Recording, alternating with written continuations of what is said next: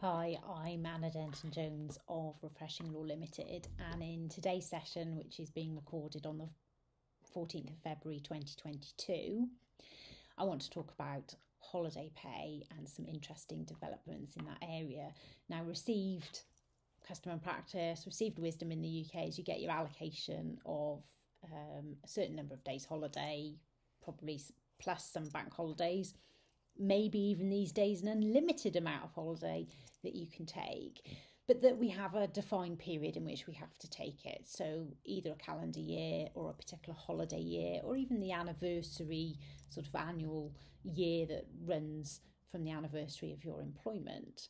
And that if you don't take it in that period then generally you lose your entitlement.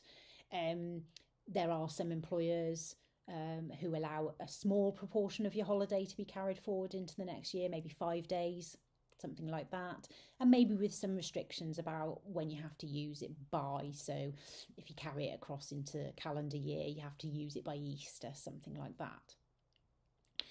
And it's long been accepted that for um, reasons connected with discrimination legislation uh, and maternity leave, that ladies who take maternity leave can carry their holiday with them um, and they carry on accruing during that period of leave.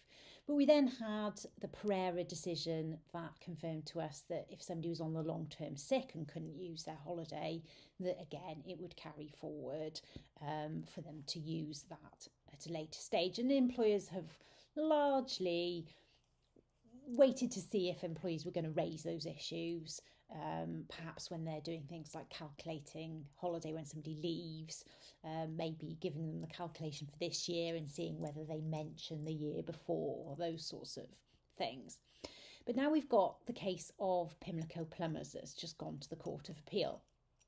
Now, the main um, thrust of the case was to do with was the plumber involved a worker and therefore potentially entitled to rights like holiday pay, or was he a genuinely self employed contractor? But we won't bore ourselves with that for today. We'll just focus on what it said about holiday pay. So, there'd been a case called King and Sash Windows. Um, similar sort of issue with um, was somebody employed or, or not. Um, and that case essentially decided that our right to paid holiday pay is a composite right. So the, uh, excuse me, I'm going to sneeze. Um, the right to the leave and the right to the pay aren't sort of separate things, they come together. And that this accrues year by year whilst we're employed and it crystallises when the employee leaves. Because if you remember under the working time regulations, that's when payment in lieu of holiday occurs. We don't do it beforehand, but if somebody leaves and they've got accrued leave, then we can pay them that um, sum. So that's where the thinking had got to. And up until then, we tended to treat unpaid holiday like um, Mr. King, like the chap in Pimlico Plumbers, as being an unlawful deduction from wages claim. So, like any other claim for underpayment of, I don't know, an allowance or something that we were saying the employer had failed to pay the employee.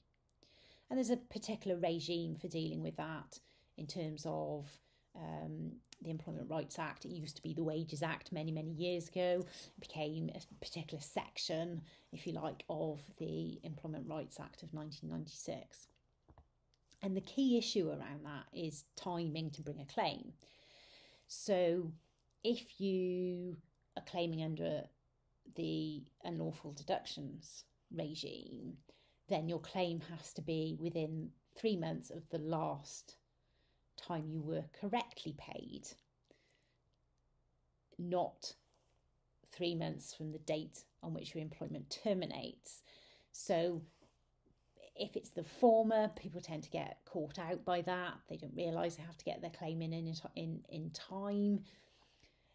People are perhaps more knowledgeable around three months from the date on which their employment ends. So we've now got this clarification that this right crystallises when the employment ends, and that's when time will tick from.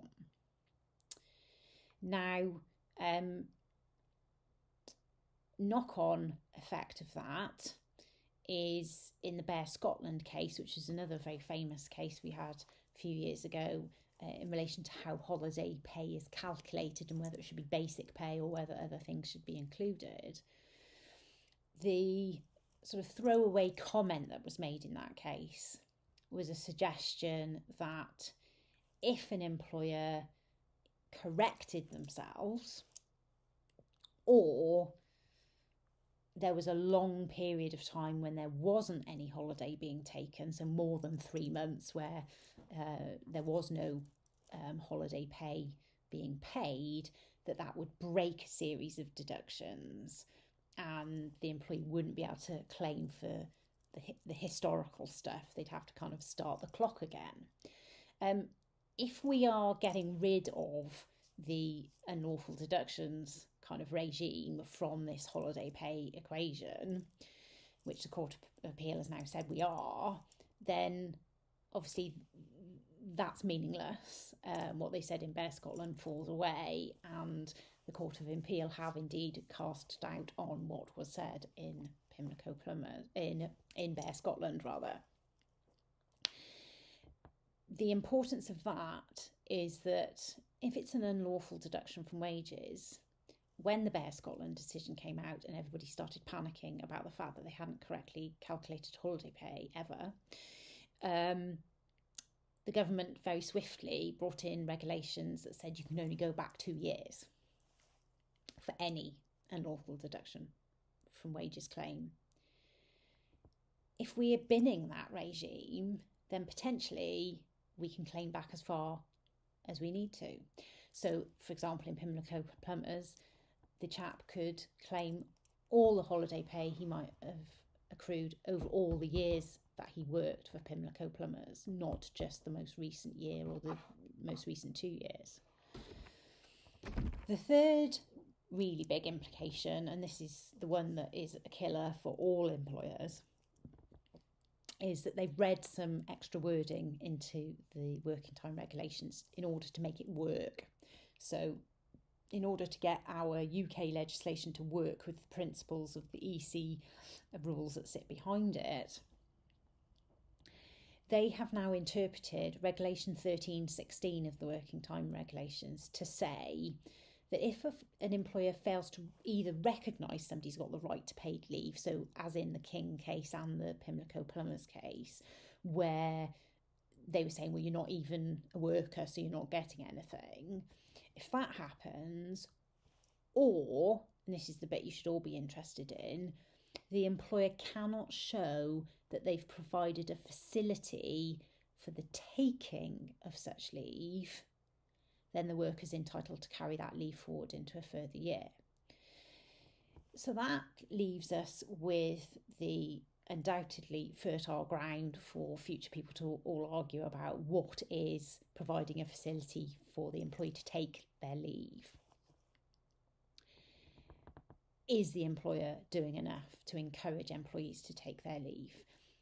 And it's not just doing it, is it? It's going to be evidencing it for the tribunal, which means some kind of paper trail where you can show you've done your damnedest, if you like, to make sure employees are taking their leave. So, for example, I've had coffee with somebody this week who's told me, you know, February the 14th, she has 20 days of holiday accrued that she hasn't taken this year because she's not very good at taking her holidays and it's got to be used by April. Well, under this uh, new idea, um, potentially she can carry that forward into the next year if the employer has not taken steps to get her to take it this year.